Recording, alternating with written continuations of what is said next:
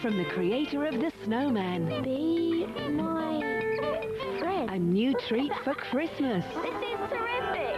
Hello, Ivor. I'm John.